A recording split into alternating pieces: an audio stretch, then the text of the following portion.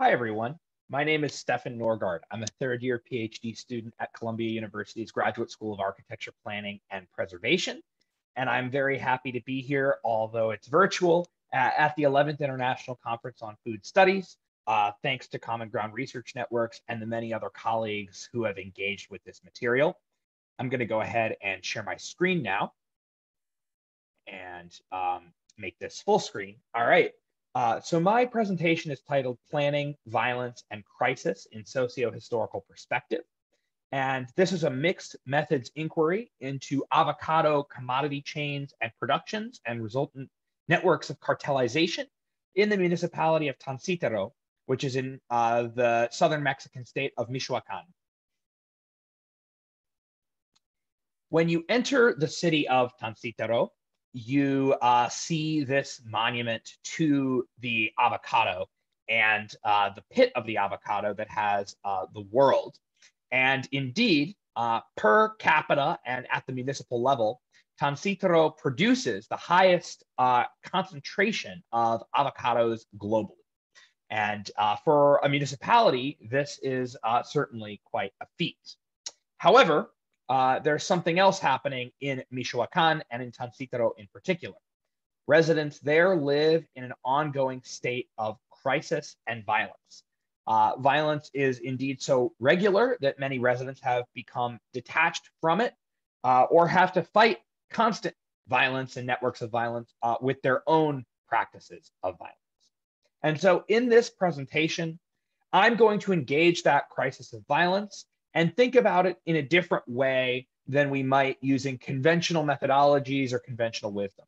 Specifically, I'm hoping to foreground a critical planning lens that looks at terms uh, like Lefebvre's production of space um, and also thinks critically about planning theory and planning practice uh, to interrogate the relationships between avocado production and agro industry and resultant dynamics of violence uh, using Tancítaro as a situated, grounded, and historic uh, case study. So let's start by interrogating the conventional wisdom. Uh, and that conventional wisdom is uh, that violence has been high and has most recently been extraordinarily high in the southern Mexican state of Michoacan. Here, uh, these are uh, some data that I've compiled drawing on INEGI and Pablo Piccato et al.'s data set on total crimes per state uh, in Mexico. And these are per 100,000 people.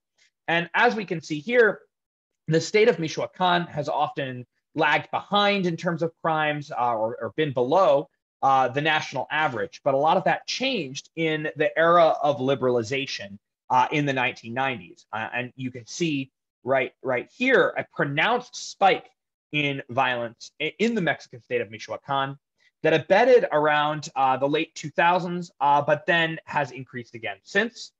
Uh, the concept of uh, federal crimes against public health, uh, as entered in the Ministry of Justice um, data, uh, represents drug trafficking crimes. And so what we can see here is um, there are certainly a, a, good number of these in Michoacan and also in the Mexican state, in, in, in, the, in the Mexican nation nationally, um, that kind of start and increase uh, in the 1980s and 1990s. Um, but this is not necessarily explaining all on its own uh, the rise in total crimes. Um, and uh, what we're seeing here, this is uh, the next kind of timeline. So we had the pre 2008, this is the post 2008 to the present set of data. And what we're seeing in the Mexican state of Michoacan is a high and rising homicide rate, particularly in the last three years or so. And um, these uh, homicide rates um, kind of culminate uh, in uh, the state of Michoacan being one of the most violent Mexican states of all in the current moment. And so conventional wisdom frames these abetting and, and, and, and now soaring rates of violence to the dissolution and then reintegration or reconstitution of uh, DTOs or C- uh, TCOs, drug trafficking organizations or transnational criminal organizations. And uh, here on the screen, I list um, just some of the many DTO and TCOs that operate actively in this part of Michoacan. And so the argument goes uh, that many of these drug cartels um, operate uh, with violence and a degree of impunity and um, operate with, alongside, and at times in contestation with Mexico's federal uh, police, local police, uh, state police, and military. And so you have numerous different um, armed state like groups, including uh, the DTO and TCO organizations, that, um, that change and morph in their size and territorial scope, and that this explains the high rates of violence in Michoacan. However, the critical planning frame takes a step back and tries to think about first violence in more historically situated and structural ways. And so, specifically, this is a food studies conference, and, and this paper seeks to look at things like the dynamics of agroecology, the terrain, the terroir, the soil features inherent to a place like Tancítaro, and also hopes to look at the specific and situated dynamics of both social mobilization and organization in the specific place, uh, the nature of executive power, and histories, for example, of land ownership and land regimes. And I'm drawing on uh, Lefebvre, Brenner, and Elden, as well as others, uh, to think about the production of space as this contested process of making space at once valuable, but also um, a, a, space for social reproduction. Uh, in other words, um, the ways in which territory and land are indeed arenas of political contestation and are produced, reproduced, and contested by various social groups. Uh, with regard to critical planning, I'm thinking about urban planning and territorial demarcation, uh, everything from the top down master plan to plans around avocado production and uh, planning for agro industry and uh, planning around violence, and uh, aim to think about those plans in a critical way, one that is geared toward uh, practice but also attends to dynamics in land regimes, properties, and spatial production. So, for example, looking at rancherias, looking at the ejido system, and thinking about the Mexican Revolution in its full historical extent, as all of these um, land regimes and processes relate to current avocado production networks in Tancítaro. And another aspect of critical planning is trying to both deterritorialize and reterritorialize our understandings of political economy in a critical way. For example, we need to think about uh, avocado production networks as they relate to networks of consumption and consumer taste here in the United States, while also thinking about how avocado production networks create social differentiation and class hierarchies within the municipality of Tancítaro. Not everyone is benefiting in the same way. And so my argument overall is that uh, violence in Tancítaro is a means by both powerful groups and less powerful groups toward controlling territory and its accumulated surplus. It's also a technology to contest that spatial hegemony. In other words, uh, violence is a means toward producing and reproducing space in a very Lefebvrean sense. So, drawing on this critical planning framework, let's think about violence and avocado production and specifically looking at it in Tancítaro. First of all, we might notice here with this uh, map that's uh, an SP and Calderon et al. Uh, produced map from the Justice in Mexico 2020 report, we'll see the Mexican state of Michoacan here on the Pacific coast.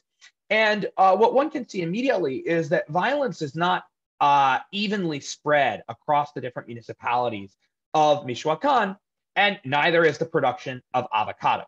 So here we see the mean production of avocados by hectare. And indeed, you see a couple of clusters or belts that are quite terroir specific.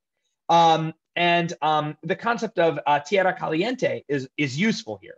We have a, a certain set of necessary uh, soil and agroecological features, uh, climate, the high and low temperatures, for example, that lend themselves to avocado production and specifically for the kind of Hass avocados that American consumers love. And um, these are concentrated in areas of middle elevation that are below the high volcanoes, but have experienced eruptions in the past such that the soil is fertile. And Tancítaro is indeed one of these places. Tancítaro is, uh, is right here. And so you can see that avocado production is not a monolithic thing.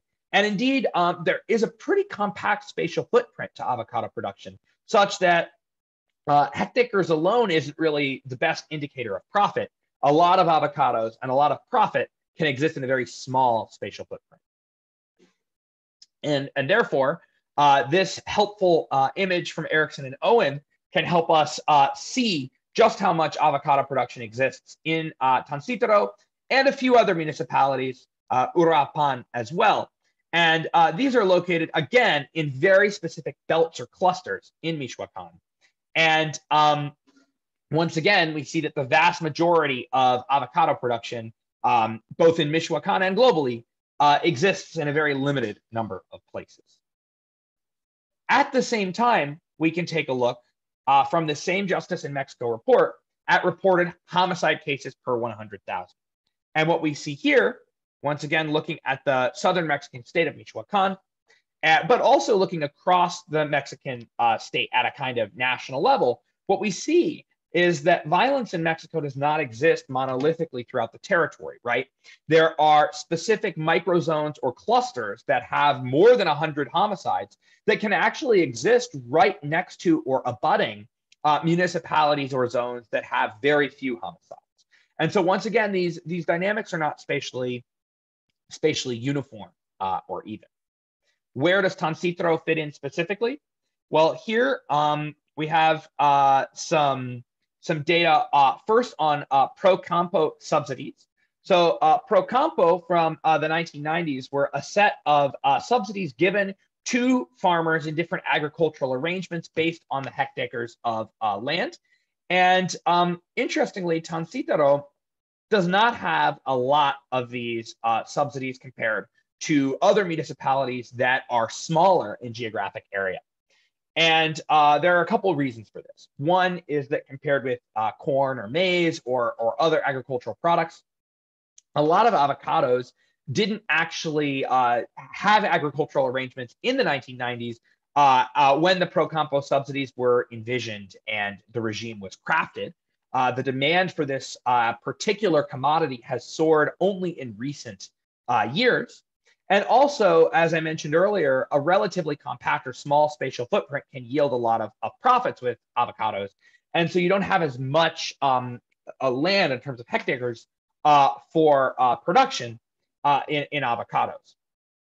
Suffice it to say, here we have not as many Procampo subsidies as other places. And, and this relates to networks of violence because uh, state subsidies to agriculture is certainly both um, an important injection of capital into specific municipalities, um, and also helps explain uh, changing fortunes and changing land regimes in the late liberal context of post 1980s Mexico. At the same time, uh, we see uh, a diagram here at the level of the municipality of um, police interventions. And here, Tancítaro is exceptional. It's the highest or one of the highest uh, municipal level uh, numbers of police interventions, according to this INEGI data uh, in the state of Michoacan. And so what we're seeing here is uh, a number of um, uh, uh, of police parties. Again, we have the local, state, and federal level police that interface in various formal and informal ways that are paying attention to Tancítaro in this 2020 data. And, and this, uh, you know, once again speaks to how violence can be clustered at municipal and local levels. Another um, component of, of this critical planning analysis, as I mentioned, takes a look at agroecological factors.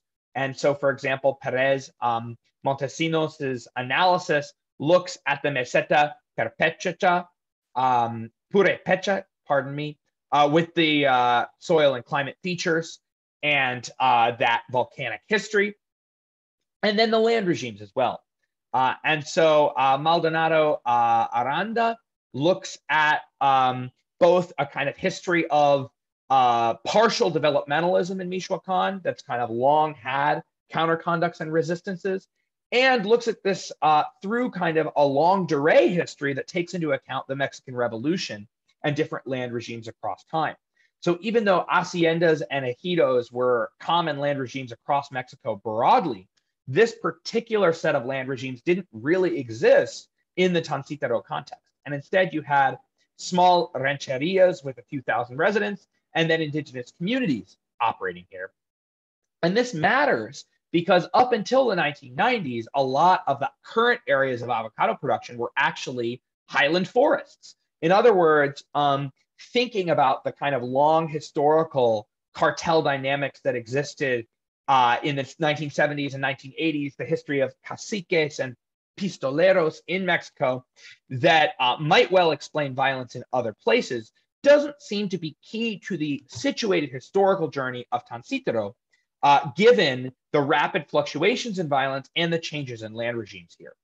And of course, another factor is this USDA rule change in the United States that basically required specific export regimes for avocados and limited where production could take place. This really helped Tancítaro in terms of their ability to produce avocados, but also clustered profit and power in the municipality and is associated with violence as well.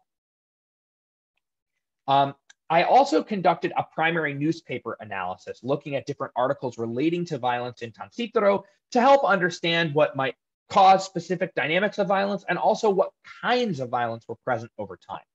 It's pretty quiet before 2010, uh, but from about 2009 to 2015, the newspaper analysis reveals a, a lot of uh, sustained reporting on Tancítaro.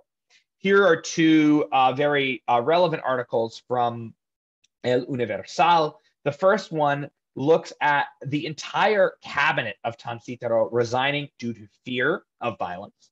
And um, then the, uh, the mayor uh, ultimately uh, resigning and uh, Cervantes, uh, Gustavo Sanchez Cervantes, uh, taking on that position as a primary school and karate teacher far away from political loyalties and coalitions.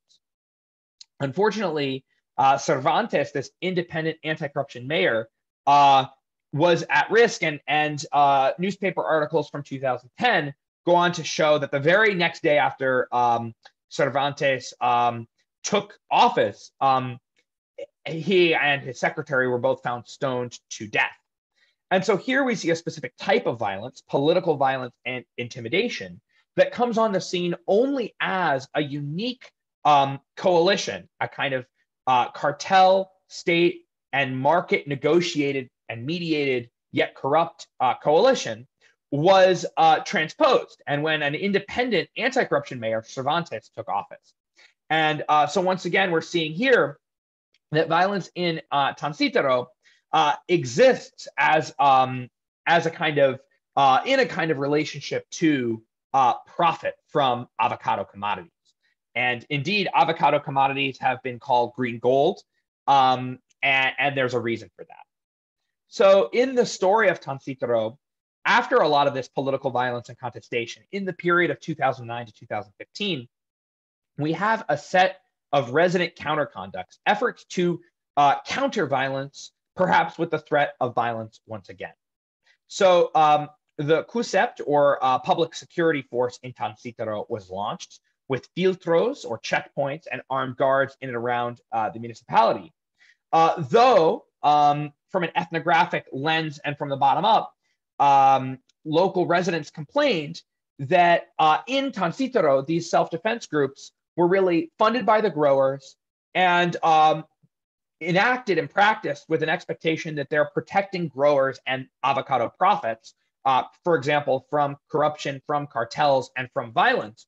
Um, but there's a very limited interest in and, and, protection of the workers in the avocado plants, the, the laborers, um, and Ana, a local resident, speaks to Noria Research and Alvaro Rodriguez, uh, saying there have always been deaths here, referring to a kind of longue durée, constant degree of violence toward working class um, residents in Tancítaro. And indeed, recent Noria Research conclusions have found that um, poverty and extreme poverty has long been high and present in Tancítaro and continues and has even grown. And so the wealth and power associated with being the largest producer of avocado production globally in Tancítaro may well attract violence, but it's certainly not distributing wealth to all residents. And I think um, this is where my intervention uh, comes in. So having studied um, the case of Tancítaro using these mixed methods from the newspaper accounts to the quantitative data, I propose a set of complicated pathways uh, that are both politico-judicial uh, or juridical in nature and social. And they have to do with a unique mediation between political economy at the super local or, or national, multinational level. For example, thinking about um, cartels and relationships to import export regimes set by the United States Department of Agriculture in the United States, right? Uh, and how these interface with the unique agroecological assets of a specific place. In this case, the terroir and the soil features of a place like Tancítaro, and how these dynamics of commodity capitalism and profit can indeed attract drug trafficking and transnational corporations that seek to cash in on the action, uh, but also attract members of the state that both want to regulate and interface with those DTOs and CTOs, right? To regulate or enforce or mediate violence, but also themselves want to cash in on the action. Amidst all of that, Tancítaro, as well as the Mexican state, have their own local executive organizations that both mediate and moderate the drug trafficking and transnational corporation and cartel and criminal organizations. So here you have another mediation of power that can indeed turn violent and resident social mobilization and organization. And so the creation of the self-defense groups in Tancítaro, as one example, was another opportunity to check or counter the DTO and TCO frame, but also led to violence, right? Countering violence with another form of violence. At each stage here, there's the possibility for violence. And indeed, with each of these mediations and moderations, depending on how the profit structure works, depending on how scarcity um, exists, we have the potential for violence. And so my argument is that a unique combination or amalgamation of all of these factors collectively explains why there is high rates of violence in Tancítaro. But if we think about critical planning and foreground that structural analysis, while it's tempting to think about, for example, these downstream actors as the kind of cause of violence, my, my argument would be that we need to look further upstream back here at the agroecological assets and why there's a concentrated amount of avocado production that's only possible in Tancítaro in the first place. And most importantly, here, the political and economic factors that create that scarcity in agroecology. For example, the USDA's import export regime and other regulations and subsidies to specific agricultural producers that concentrate avocado production in specific areas. That interfacing with land regimes and um, the ways commodity capitalism are, are structured in the Mexican state are very important root causes to understanding violence in Tancítaro today. I complement this analysis with an urban theoretical foray into critical planning theory on crisis and violence. I draw on scholarship by Arendt, uh, Davis, Lefebvre, Roy, and Segato, and ultimately find through this analysis that um, theories on violence and crisis uh, need to foreground uh, local situated experiences of residents themselves. And that's where I'll end this presentation. Uh, for future research, this mixed methods inquiry only solidifies the need for situated ethnographic fieldwork. In other words, talking to residents about their routine or everyday urban experiences of violence and crisis will be essential.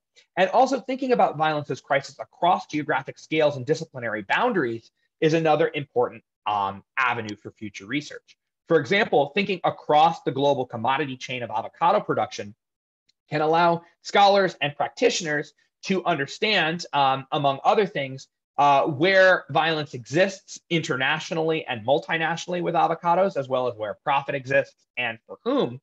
And through the kind of reflexive practice dimensions of ethnography, allow scholars to think about subjective experiences of violence. And they land differently, as I expect, across people uh, of different race, class, and gender identities. In other words, there's no one monolithic experience of violence in Tancítaro, and we shouldn't um, uh, create a phenomenology of violence that's monolithic uh, either.